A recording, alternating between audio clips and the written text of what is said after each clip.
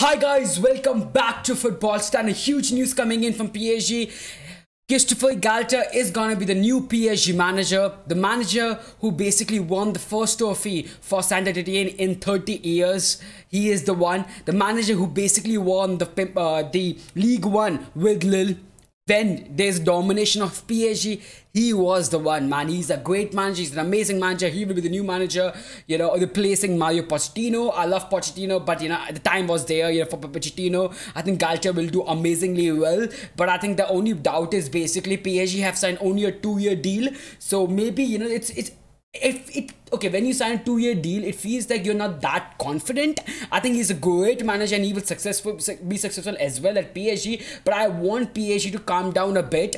You need to give the manager some some stability. You need to give the manager some time to basically bring in their plan and do it. And that's the thing you know. If PSG do that I think this manager will be successful. The Christopher Galtier will be successful. But I have my doubts with Christopher Galtier I said it earlier as well. He's an amazing manager obviously a great manager but being a manager of PSG is a difficult task. One of the hardest hardest job to be honest as a manager right now because of the star players you know PSG have. It's it's mental bro the amount of star players PSG have right now. And the thing is basically how how would you manage those star players, right? Like even uh, even though I feel like Pochettino is a great manager, he was not able to manage the star players like Neymar, Messi, and Mbappe. If you're able to get the best out of all the lots and you know play as a team, then you know I feel like this PSG team can do the unthink not unthinkable. You know what? It's not unthinkable. I want I want PSG to win the Champions League now, right?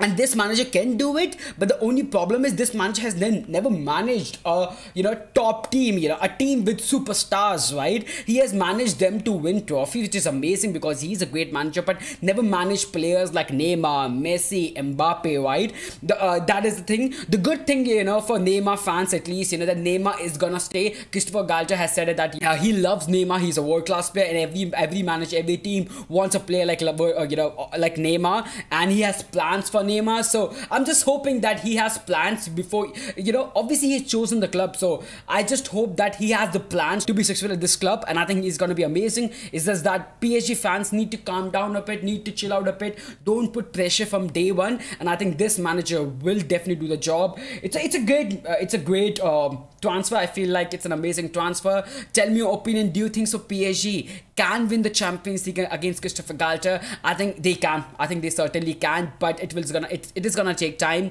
The thing is, right now, to be honest, I'm gonna say this: this season will be the best season for PSG. Uh, the chance of winning winning Champions League because right now, yeah, Manchester is very strong. Liverpool is very strong. Real Madrid is really strong as well. But this is the best time because there are three teams to go for, you know, in the Champions League. But you know, if you wait a bit too much, the teams like Barcelona, Bayern Munich, you know, these top tier teams will come back. Even Juventus can come back, you know, in the discussion right now.